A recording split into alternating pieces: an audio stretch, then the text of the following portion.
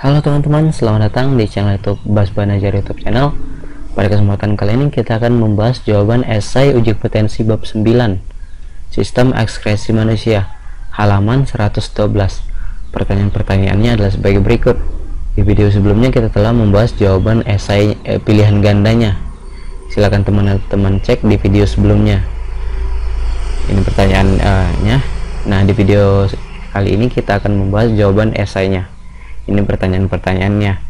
Sebelum kita masuk ke pembahasan videonya terlebih dahulu saya akan mengajak teman-teman untuk mengklik tombol subscribe pada channel ini dan klik like serta share pada video ini agar channel ini terus berkembang ke depannya dan memberikan informasi-informasi yang bermanfaat kepada kita semua. Dan tentu saja untuk membantu teman-teman dalam mengerjakan tugas sekolah. Oke langsung saja kita masuk ke pembahasan videonya. We are the farmers. 1. Sebutkan macam-macam organ yang berperan sebagai alat ekskresi pada manusia dan zat yang diekskresikan atau yang dikeluarkan. Nah, untuk nomor satu jawabannya adalah sebagai berikut.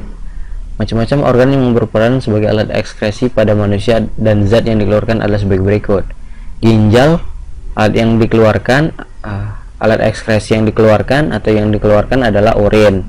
Hati yang dihasilkan adalah urea dan empedu. Paru-paru yang dihasilkan CO2 dan H2O oksigen dan karbon dioksida. Sedangkan kulit yang dihasilkan adalah keringat. Oke teman-teman itu untuk jawaban nomor satu. Kita masuk ke nomor dua. Pembentukan urin terdapat terjadi di dalam ginjal. Istilah tabel di bawah ini untuk menjelaskan proses pembentukan urin yang terjadi di dalam ginjal. Nah, untuk nomor dua jawabannya sebagai berikut. Ini pertama proses filtrasi. Tempatnya terjadi di glomerulus bahan darah yang dihasilkan adalah urin primer. Yang kedua proses reabsorpsi.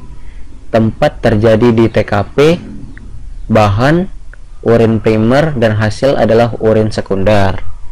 Yang ketiga proses augmentasi terjadi di TKD bahan urin sekunder yang dihasilkan adalah urin.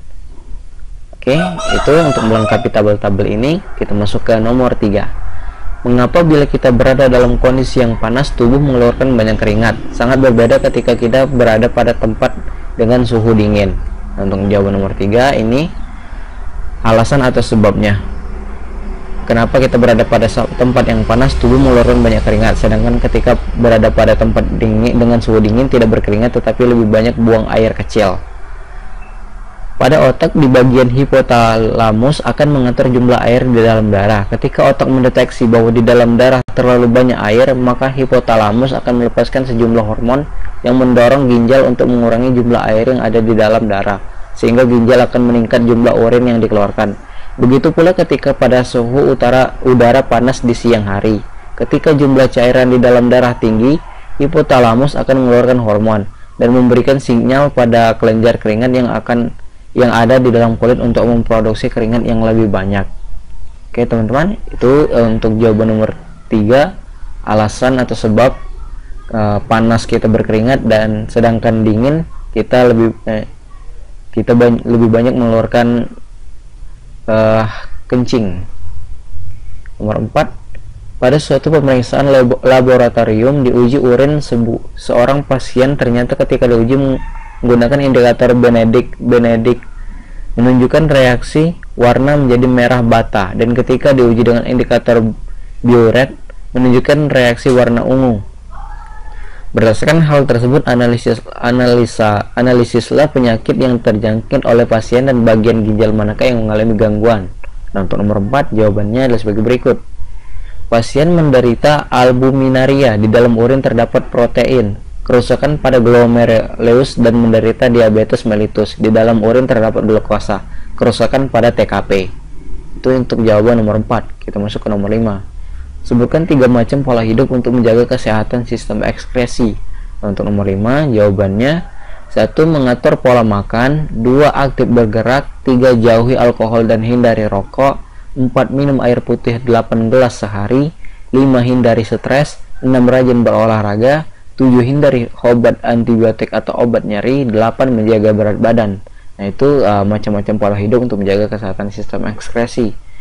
Oke, teman-teman, sampai sini saja untuk video kali ini. Di video selanjutnya kita akan membahas jawaban pilihan ganda uji kompetensi bab 10. Silakan teman-teman cek di video selanjutnya atau di akhir video. Terima kasih telah menonton video ini dan sampai jumpa di next video.